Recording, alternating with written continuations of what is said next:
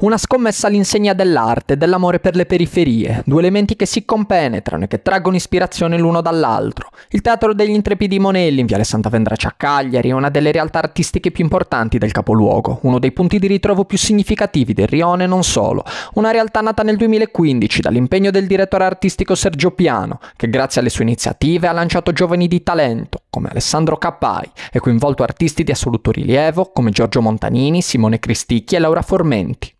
Allora, eh, questo progetto in Santa Vendrace nasce otto anni fa. Eh, abbiamo pensato di creare uno spazio teatrale, culturale per il quartiere, visto che non c'è mai stato un teatro in questo quartiere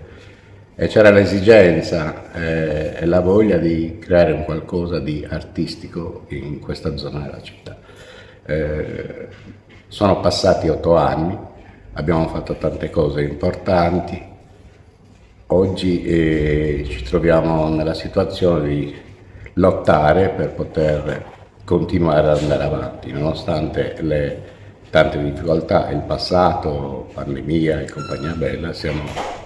ancora in piedi e stiamo cercando di portare avanti questo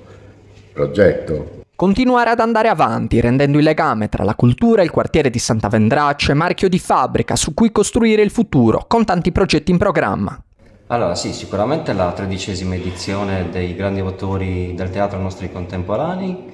è, è la prima edizione del Circo Letterario, festival di letteratura che molto probabilmente sarà a dicembre,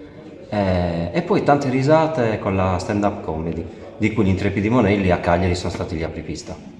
Vi aspettiamo. E a proposito di attesa, sono tante le persone che aspettano i nuovi spettacoli, pronti a farsi conquistare dalla magia del teatro, il quale nonostante il tempo che scorre è ancora capace di resistere, come affermato dal celebre attore Orson Welles come un divino anacronismo.